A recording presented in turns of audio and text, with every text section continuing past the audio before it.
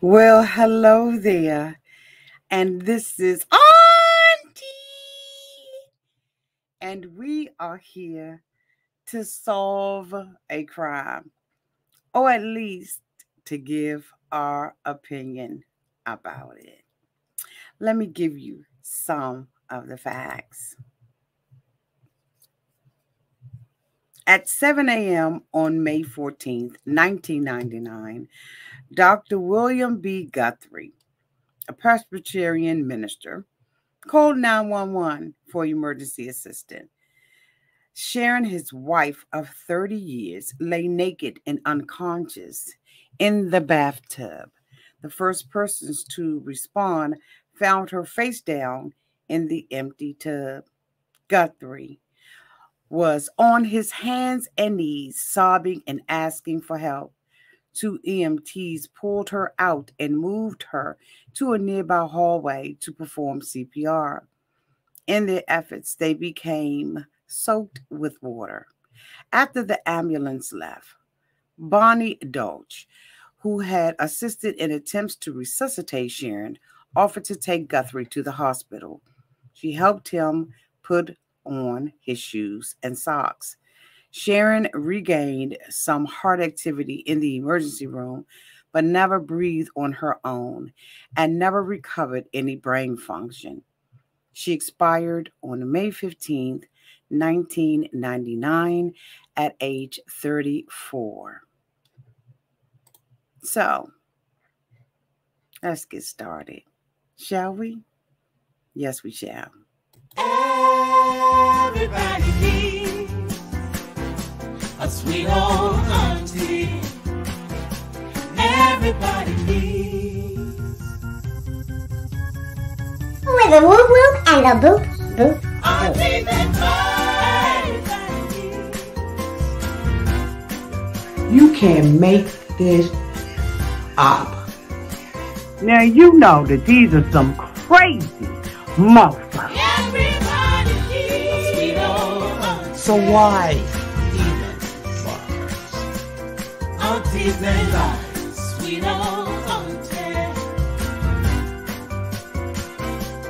Aunties and ways. Are you okay? Are you okay? Well, welcome back, everybody. And this is Auntie. If this is your first time being here, please like, comment, and subscribe to my channel. And to all of my new subscribers, thank you all so much for joining the family. And to all of my nieces and nephews who have been here with me for the long haul, thank you all so much for your continued support.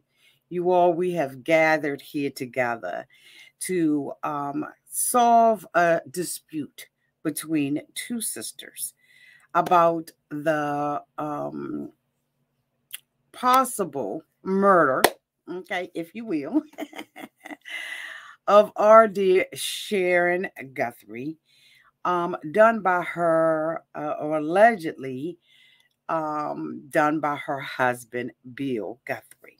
Okay. Now, these this couple is extremely interesting, and so are the sisters. So, this is um, episode one, season one of Bad Blood. Um, it is on Discovery Plus, and we will be doing these um, at least every two weeks. I'm hoping um, where we will be coming together as a group to um, handle a dispute on whether or not the facts of this case um, should be should have been questioned, right? Um, and what sister is right and what sister is wrong. So I gave you all a podcast the other day. I'm hoping that you all had an opportunity to listen to it where we discuss the facts of the case. Um, I gave some of the clinical um, details and the like. And so while we'll go through some of that, we will not go through all of that. We are actually here to um, settle the dispute between the two sisters. Now, now the Guthries had three children. All right. And they um, were a Presbyterian family.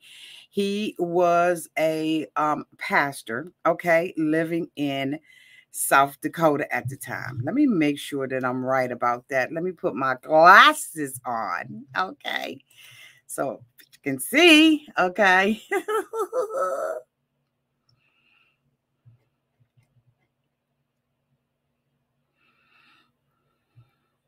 okay, so he was a preacher who was living in um, South Dakota, all right? And he was the pastor of a church. And um, while he was pastoring in the church, allegedly he began to have an affair with one of the parishioners, if you will, um, of that congregation. Once it was discovered that he was, you know, allegedly having this affair, he was asked to leave the church. And so he took his family, packed them up, and they left. And um, during this time period, he was with his wife, Sharon, of 30 years. And Sharon was, you know, over the time period, getting old and everything, and was, you know, a little obese. Okay. And so the this turned him off. Now, Pastor Bill Guthrie had a daughter who was seemingly his favorite by the name of Jenna Lou. And so I'm going to bring up Jenna Lou's picture for you all. Okay, let's check out Jenna Lou. So Jenna Lou was her daddy's favorite. She was the cream of the crop to her daddy. She indicated that her father, you know, was her biggest cheerleader and that he, you know, cheerleaded her all through life. And there were things that her father would talk to her about and tell her about. And one of the things that he talked to her about was the fact that um, he had been having a, an affair. He indicated that she indicated that he was having this affair with this woman, but he was regretful that he had talked to Sharon about it and Sharon forgave him. But dead people can't talk and confirm or deny anything. And so this is the um the impression that she had of her father. She was what we would call a daddy's girl. And anything and everything that her father did she absolutely supported him in that. Okay? Now that did not sit right with her sister Suzanne. Suzanne was what we call a mama's girl. She was with her mom Sharon all the time, and she um, is one of the people, one of the key people who helped assisted, who who helped to assist the prosecutors in bringing forth a conviction, allegedly. So now there are many facts that have come out in this case um, about um, our dear beloved Sharon. Okay, so let's go back to them. Okay, let's go back.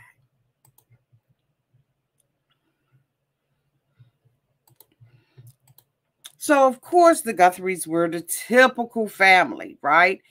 They, you know, of course, with you know, like I said, growing up in church and all of that kind of stuff. Can y'all see? Oh, can y'all see our little babies? Now there is a um a third sister by the name of Danielle who chose not to go on any of these shows, right? she decided that she was going to keep her mouth quiet about the situation. All right. Now, allegedly, there have been multiple things that Bill had indicated happened Bill, when asked about um, um, the the incident at the home, Bill, of course, called 911 and said that his wife was in the tub. Allegedly, Bill had taken the water out of the tub, right? I'm just making sure y'all see Sharon. Okay. so Bill had taken the water out of the tub. He called 911 and he said that he attempted to pull her from the tub. However, witnesses who were on the scene, you know, the nosy neighbors, indicated that his clothes were dry. Now, also, when they pulled him onto, um, uh, when they took him to the hospital, he had to put on his shoes and his socks, which were not wet. Now, Bill also indicated that when he got up in the morning, um, he said that, you know, his wife was asleep. And that he went out of the house, went next door to do his morning prayers. When he came back, there was water rushing down the stairs, according to him. And um, he, you know, then called 911. Now, the story has changed multiple times, although Jenna Lou, daddy's girl, indicates that her father's story stayed the same the whole entire time. Never changed. However, neighbors, the detective, and Suzanne and Jenna Lou all had different stories from the father about minutes after he found his wife. Stay with me. now, according to to everyone, you know, they thought they took her to the hospital and they pumped her her, you know, of course, taking some blood. Because she was still alive when they took the blood, the forensic scientists were able to test that blood to find out what she actually had in her system. Now, according to forensic scientists, it is harder to detect what blood was in the in the body um, if they are already deceased. But luckily, she was still alive when the nurse practitioner or the RN, if you will, or the LPN, if you will, or whoever was on duty that night, went in to take the blood from her. They found three different drugs um, that were in her system. Okay. Now, I am not looking at comments. So I'm just, you know, I'm going on a roll, y'all. So I cannot look at comments, right? So if you send me a super chat or something like that, I am not going to see it. I am so sorry. Okay. I'm so sorry. I want to put that out there ahead of time. If you send me a super chat, I will not be able to see it, but you absolutely can cash at me.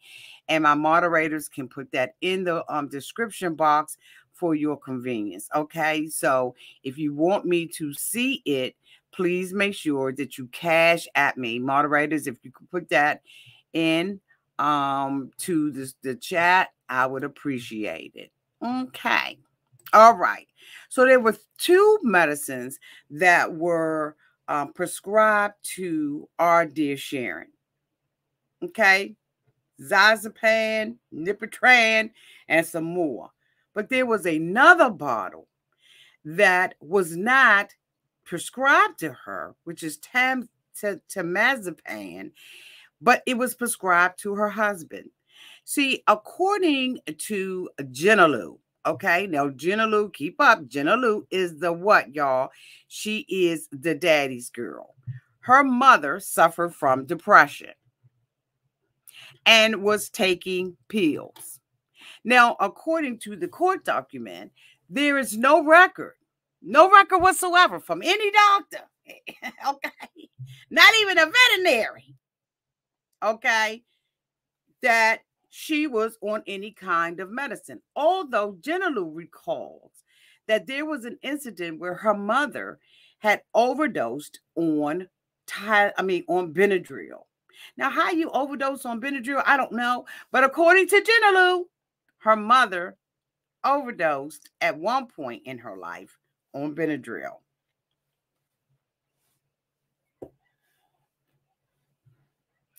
Suzanne indicated that she never heard anything like this. Now, Suzanne, of course, as we all know, was the mama's daughter.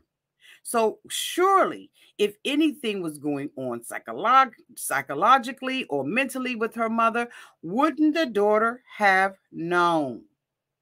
That these things were happening with her mother. Now, Sharon did have her issues because Sharon, number one, had found out that her husband was cheating on her. Her husband of 30 years was cheating on her with the parishioner. And she also was fighting with her weight. Now we all fight with our weight. You know, we up one day, we down one day. We want to, you know, get things cut, snipped, and tucked, and you know, we we all go through that. All right. Some women more so than others. But her husband continued to rag on her and to criticize her allegedly because of her weight. So this was something that she was battling. She had went to her daughter Susan's wedding um, a couple of years before, and she was fat, and something happened at the wedding, and all of that. And Jenna Lou was due to get married two weeks before the passing of her mother. So they say. So anyway, the two, so the so so the the they take the blood and they find the temazepam in her bloodstream. But this was never prescribed to her. Now, Daddy O, oh, Daddy O was prescribed temazepam. As a matter of fact, two weeks prior to, no, three, four days prior to his wife's passing, he had filled a prescription for temazepam. He called the doctor's office and told the doctor that his he lost his prescription, and they immediately called him in another one at the Kmart. And then one day after that, he calls in yet another prescription. And so at this point, he now has, okay, doses and doses of temazepam. Now, every day, Sharon would get up and she would drink her hot chocolate. Now, of course, when we find the temazepam, guess where it is? Allegedly, they believe that she put it in her um hot chocolate. Now, temazepam is a medicine that comes in a capsule. The capsule can be twisted open. It comes into a powdery, it's a powdery substance, and it can be put in something. The two medicines that were prescribed to Sharon, which were very low doses of what um, um take take take take take take take that out, take that out.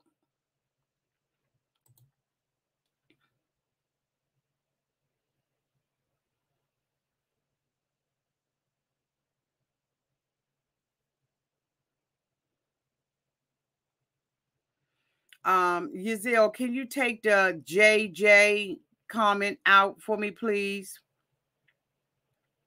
Thank you. Can you take that out? I don't want to say the words, but can you take that comment out? Moderators.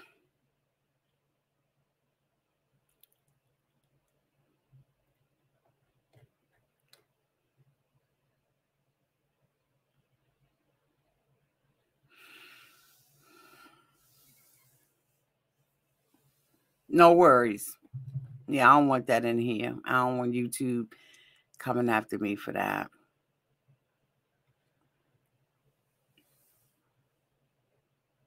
I'm believing, even though I see it on this side, that it's gone. Okay, thank you, boo. we gotta be real careful. Okay, we gotta be real careful. All right, because I know you mean no harm.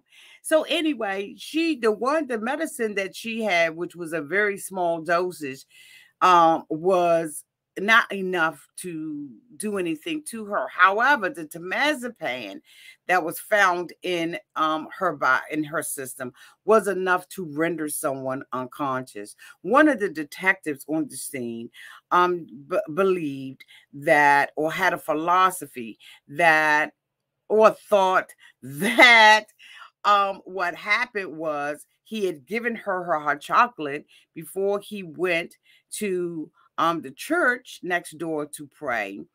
And when he came back, she was unconscious. They believe that or he took her at that point, put her in the bathtub, okay, and began to run the water and allowed her, because of her unconsciousness, to drown. That's what they believed. Now, Bill told Jenna Lou that he, again, he had been having an affair, that he talked to his wife about it and she forgave him. But he talked to Sharon, I mean, Suzanne about it and told Suzanne that he had told her and that he was ready to divorce her. See, in my opinion, I believe that he was playing both of them. Now, Jenna Lou said that her father would cry and cry and cry about how much he was in love with his wife. But then he would tell Suzanne how much he despised his wife and her weight.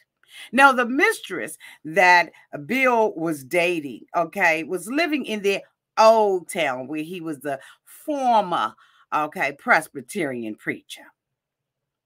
Now, Bill would often say that he was suffering from being impotent. Is that his word for it? Yeah.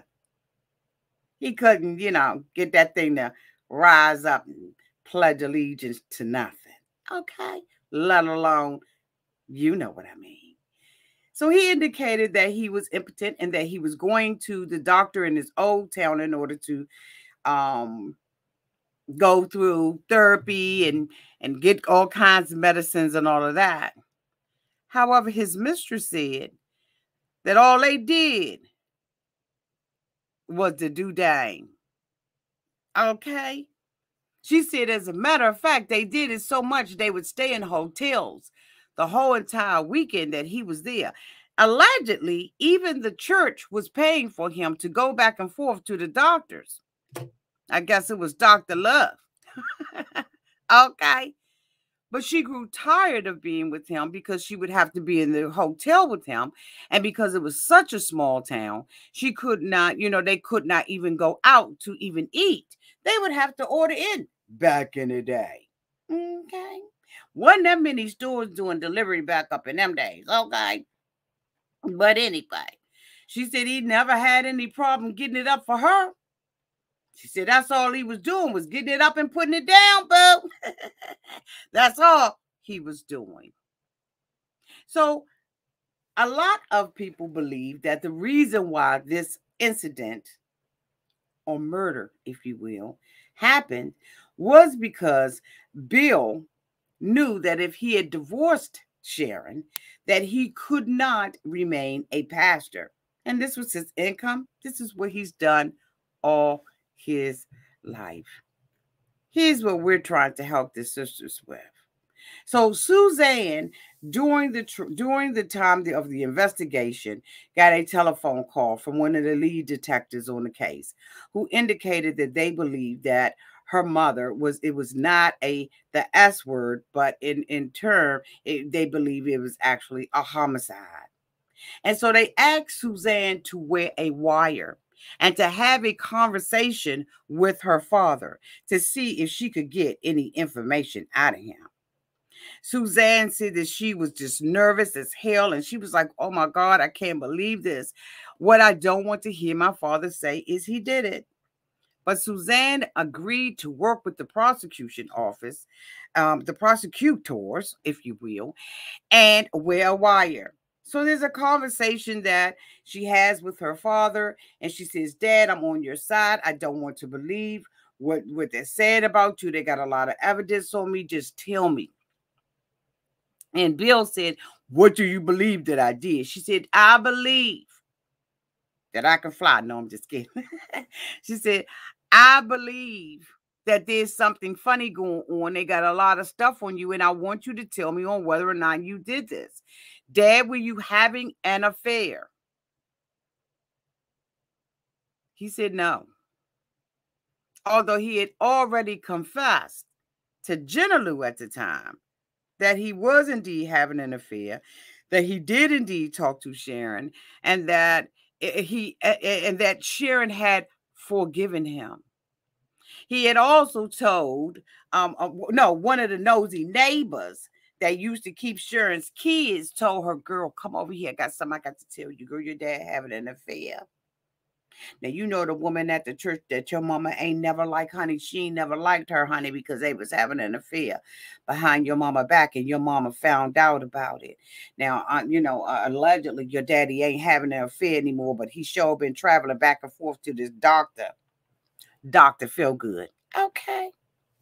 So anyway, she decides to wear a wire, and this is when um, Suzanne and Jenna Lou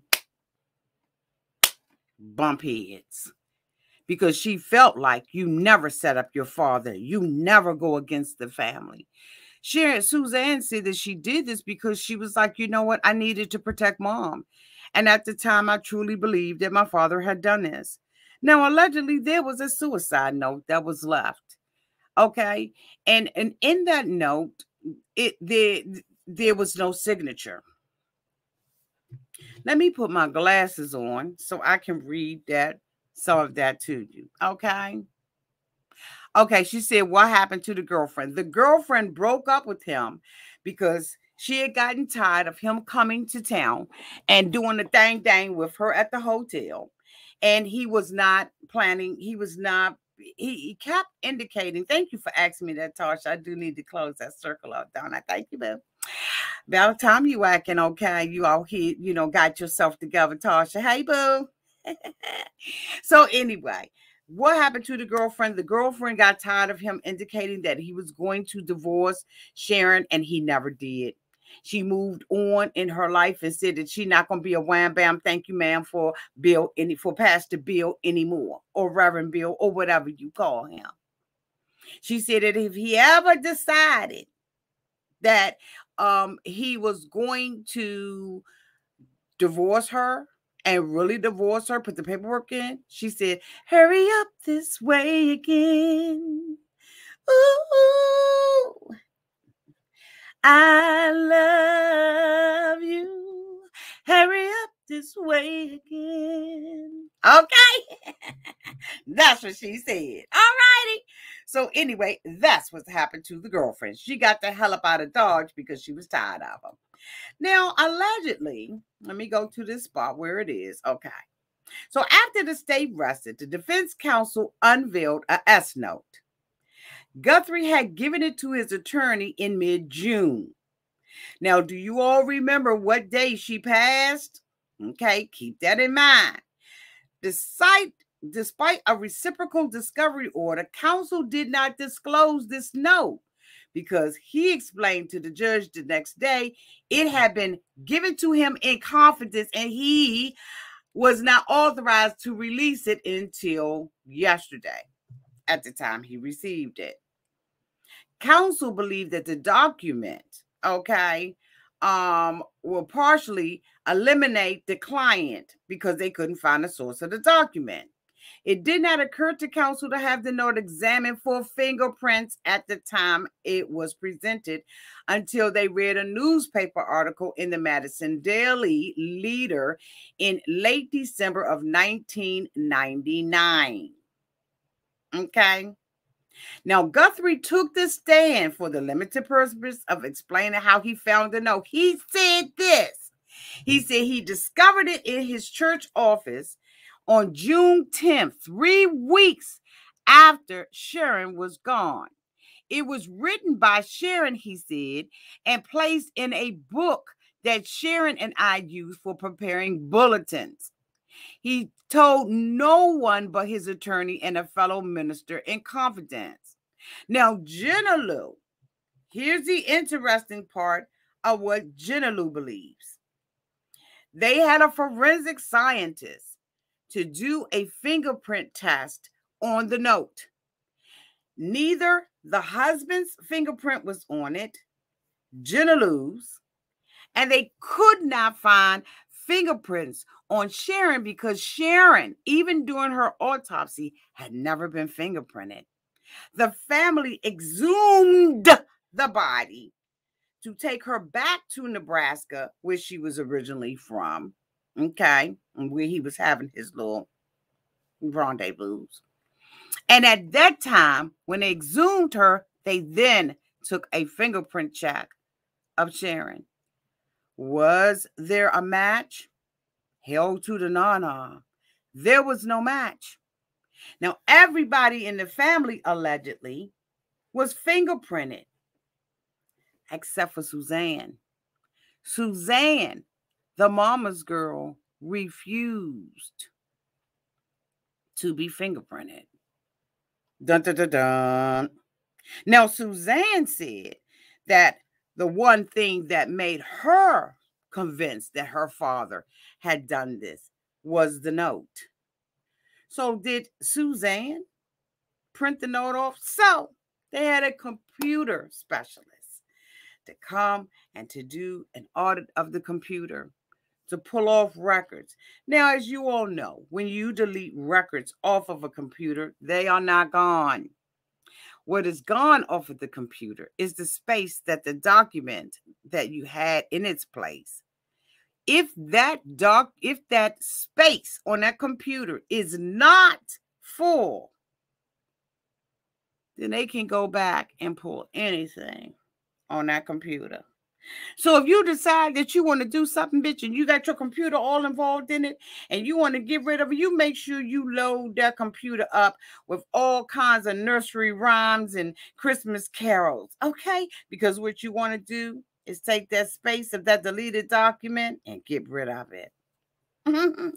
Just a note for all of y'all out there that did not did not know. Okay, okay. So they had someone to go back and look at the computer.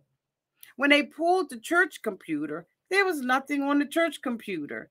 Just some some some some some searches, computer searches on how to uh, drown in a bathtub, um, what medicines will leave one unconscious. You know what I'm saying? On this, these, these are things that was on the pastor's computer. Now, Lou said just because it was on daddy's computer didn't mean that daddy was doing the searches. Could have been mom because mom was asocial. Okay, she was asocial. But Suzanne said mom didn't even know about the computer. She didn't know how to use it. She was old school. And so mom didn't do the searches. But one day, one of the investigators remembered seeing a computer in the home. He then got a subpoena, okay, to go in and a warrant to go and check the home again. And they snatched up that computer which was with Jenna Lou and her husband. Allegedly. So they go and get the computer. They pull up all the deleted files, those files that you think are gone. And what? There was the note.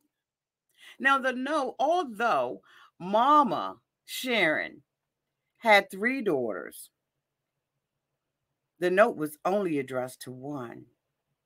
Why would a mother of three who is writing a societal note only address one child and then sign it, love all of you? So they took the note and they began to look at it. They saw that the spacing was the same, the comma it was in the wrong spot, the date was incorrect. They found all of those things that was incorrect. But Jenna Lou said, mm-mm. That don't prove anything. Mama had a problem. So after 15 years, okay, wait a minute, wait, wait, wait. So as the father went to trial, a jury found him guilty and he went to jail. While in jail, he got cancer of the spine and he died in the prison. Didn't even get to do all this life term. He, you know, he had cancer. Jenna indicated to Suzanne that she watched her father die.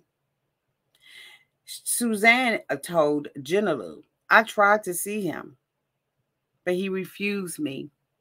I even sent him children um, pictures of my his grandchildren, and he would send them back. Jenna Lou said he was very disappointed and angry with you, and so was I. She says that to she Jenna Lou says to Suzanne that she has her mother's medical records. And that if she had the opportunity to see what was in the medical records, that Suzanne would change her mind about her father's guilt. The two of them meet after 15 years. They're both angry with one another, but really ready to now have the conversation. Jenna Lou indicated that her father made her promise that he would not, okay, he would not talk to her because she was no longer his daughter. And so she did not have an opportunity to say anything to her father for 10 years. He was in jail for 10 years before he died away from cancer. Now, Jenna Lou indicated that she came into town um, to see her father, and by the time she had got there, he was already gone. But that his wishes was that she not tell Suzanne. But I'm saying, where's the other sister? Now, Jenna indicates that on the day of her mother death, she lost her her father, her father, her mother, and her sisters. And so while Danielle has not spoken publicly, it appears that Danielle must have thought that the father was doing the same thing. Because why would she say she lost her sisters? Jenna Lou, and when Jenna Lou and Suzanne got together, she convinced her sister that she was wrong. She said, Well, dad had 10 years to tell me to get it right and tell me what happened. And she said he didn't want you to know because he was disappointed in you. Now, this is Suzanne. God bless her mouth. God, don't don't pay attention to the mouth. Do y'all need me to cover the mouth up? Okay, let me cover up that mouth for y'all. There we go. So, so this is Suzanne. y'all know I can't do this without throwing a little bit of shade, okay? But God bless that thing right there, okay? Because we're going to back this thing up. Girl, that's looking bad. Let me back this thing up. Girl, your mouth is, ooh, back that thing up. Back that thing up. Okay, we got to cover that up. So, oops. Draw my glasses. Wait a minute. Draw my glasses, y'all. Hold on. Gotta get my glasses. What did I do? Hold on, y'all. Do I got it? Just one second. Got it.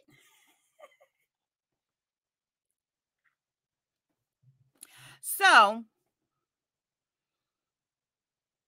let's handle this dispute. So Jenna Lou indicates that they are at war with one another. Okay. Now, this is Suzanne. Suzanne is the one who helped convict her father. Jenna Lou indicated that when Suzanne got that mouth right there up on the stand, that she knew that the jury was swayed. Okay. She knew the jury was swayed and she knew that her father was going to be convicted. She said, How can you do something like this to your father? Now, if you all went and listened to the podcast, you will hear that the father made many different um scenarios, situations, and stories up, in my opinion. And so, while I want to believe that old Bill didn't do this, in my opinion, all roads lead to Bill. But I want to get your opinion about it because Jenna Lou seems to think that her father could not have done this because her mother had already showed signs of depression and of being suicidal. Now, Jenna Lou, when asked the question on whether or not her mother sleepwalked, like her father indicated in the court records that she did, nobody could recall that she was sleepwalking, that she was ever a sleepwalker. But the father was making up all kinds of stuff, okay?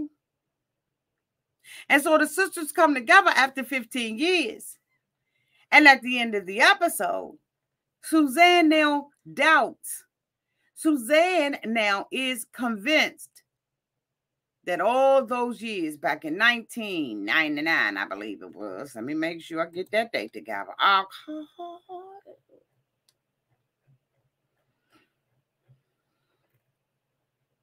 May 14th of 1999, Suzanne is now doubting herself.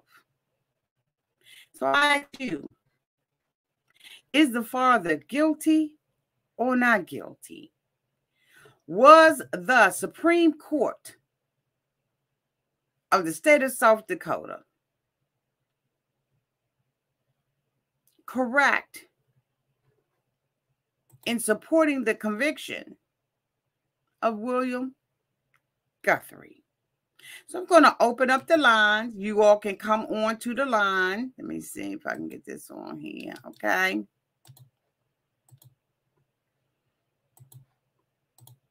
And let me know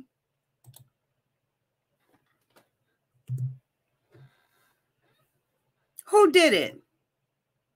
Which sister is right? Is it Jenna Lou? Or is it Suzanne? Okay, so I'm going to look through the comments and you all tell me who you believe is right. Which sister is right in this case? And where the fuck is Danielle? Why hasn't she weighed in on this issue? Is she still estranged from her sweet old sisters? Okay. So the question is let me put it in here. Let me see if I can do it here. Hold on for a second. Because I see Mary saying stay on track. So that means people's all over the place. so let me see.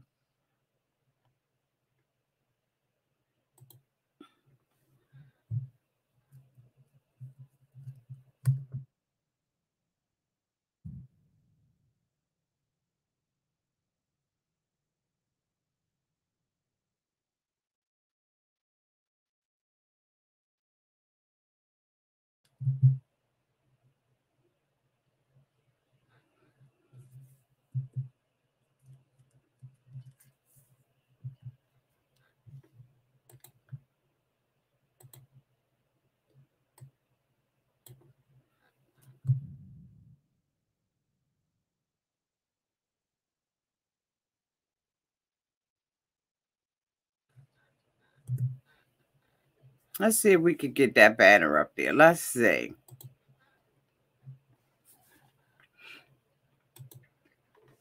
If you believe that Jenna Lou is right, type a one in the comment section.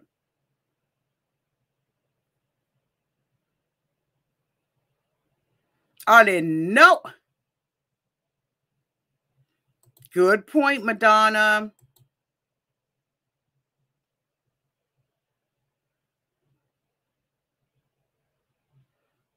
So it seems like everybody. Okay, so EJ says Suzanne Danielle probably is hiding from embarrassment. Dad is guilty. Team Suzanne, guilty Suzanne to, to um Suzanne. Okay, the Perch sister is right.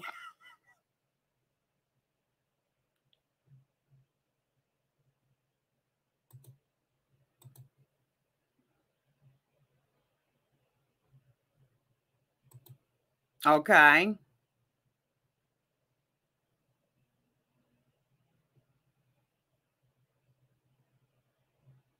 Okay.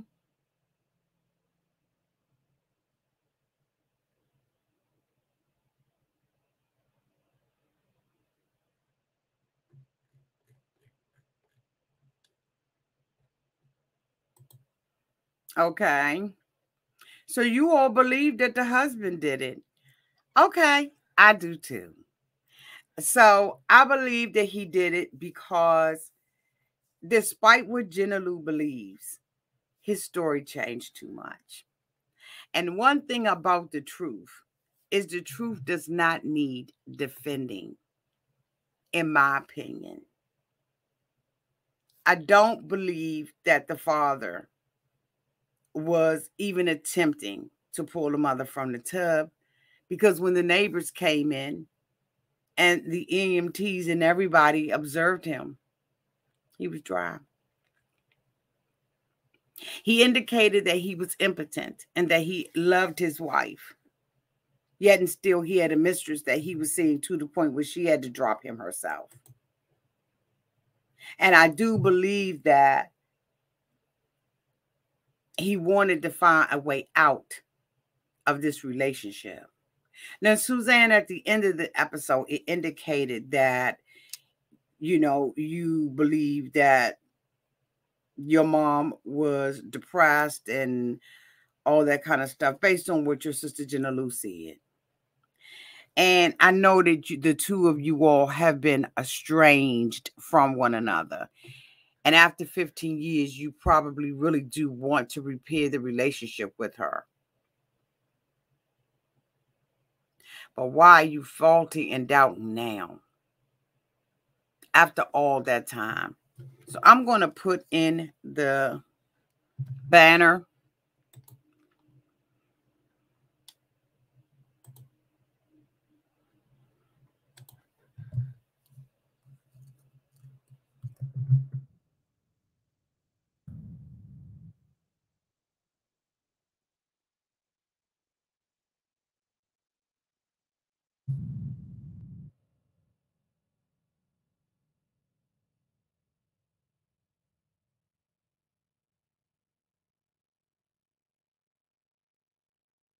I believe daddy did it.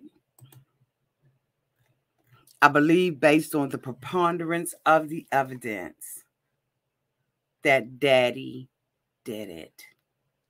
The two of these sisters now, they are indicating, are talking to one another and that they're getting along and trying to um, get their relationship back but they will never ever be whole again. Never be whole again. Why this picture came up for them, I don't believe that this picture is them. Let me take this daggone picture down. This may be somebody else, mom and daddy. Okay, there they go. I believe that, you know, oftentimes you you find yourself in a relationship trying to hang on when you need to just walk away. But I'm sure as a pastor's wife, she probably never believed that he would do something like this. I never believe in a million years. Okay.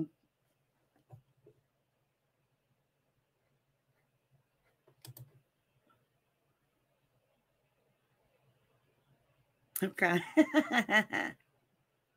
so you all did not click the link. So what I attempted to do was to open up the phone lines because I think that that's what y'all like. I think that you all are older seasoned women and you don't want to come on the screen. I don't know why, but you don't. So what I'm going to do with the next one is that we're going to do phone dialings. I had so much going on today. I didn't have time to um I absolutely did not have time to hook up the phone lines and all of that cuz you know oh, I'm not that great. But thank you all so much for participating in this mystery. We're going to be doing some other mysteries as well. And um, I'm hoping that this is something that you all like, comment, and share. I'm hoping you hit that that thumbs up button when you came in. But let me know down in the comment section what you think I can do to improve this um for you all. Did you like the podcast? Just let me know. Even y'all that don't usually comment, let me know down in the comment section because your feedback is extremely important to me. I say rest in peace to both um Bill and to Sharon and I'm praying that the sisters um, actually look at this and see what we thought about it. Not to cause them to be scratching at each other again, but just to get a different perspective um, on on what the evidence shows. And I know Jenna Lou is probably going to always be a daddy's girl. Oh, yeah. And think very fondly of her father, but sometimes we have to face reality and the facts. And facts don't lie, they just don't. At the end of this episode, they indicated that if there was not forensics, they had not stepped their game up in 1999 with how they, you know, um, do the forensic science and so all of that kind of stuff. They indicated that Bill, without forensics, would have been walking away a free man. Absolutely free. Thank God for forensic science. Thank God for DNA. Thank God for fingerprinting. Thank God for all of that. Now, one of the things that did shock me, okay, I gotta live with leave with this cliff note that I want you all to think about as well is that Suzanne never gave of her fingerprints, never allowed them to fingerprint her. Why? Was she the one that produced that cotton freaking uh, um, societal note? Was it her? Jenna Lou asked her. She said, Everybody got fingerprinted but you. She said, I got fingerprinted. You know what Suzanne said? I would have allowed them to fingerprint me. as long as the facts there, you don't have to add anything else.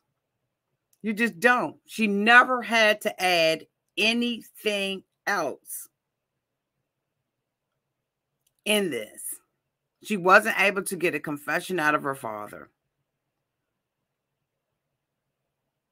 But I did kind of look at that and think, hmm. Because she indicated that it was a no for her. She said it was a no for me. But you never got fingerprinted to rule your, your fingerprints off of that note.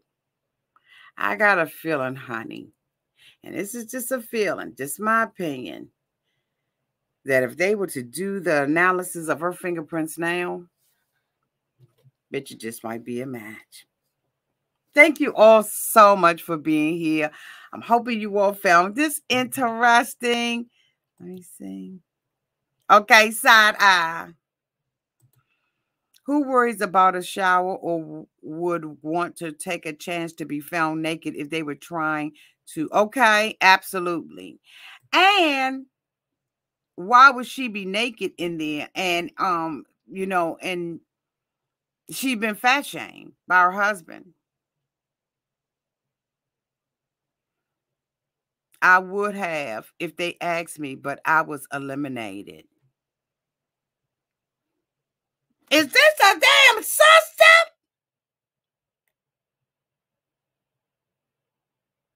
Who is Patricia? Is this one of the damn sisters?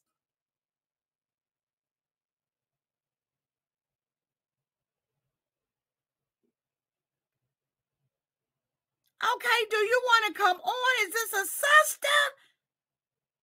But it says Patricia. And the sister name wasn't Patricia. It was Suzanne. Okay, so who is this?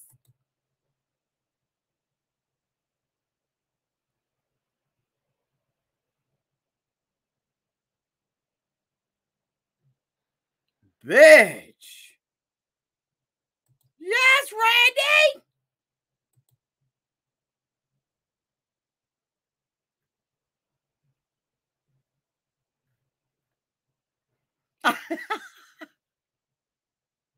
okay, okay, because I was like, who the hell?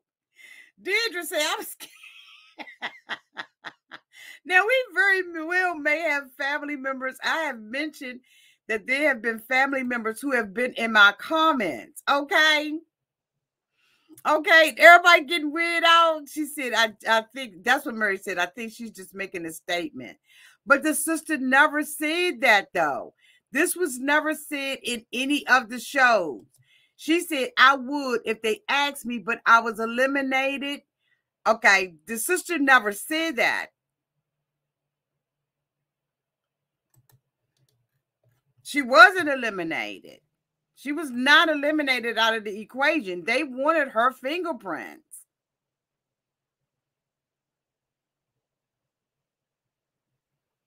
That is weird. That's very weird.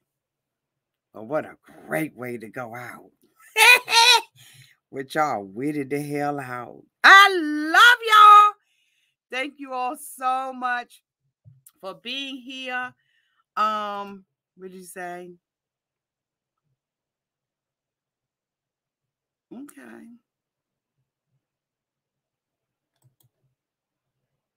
Okay. All right, Patricia. Okay.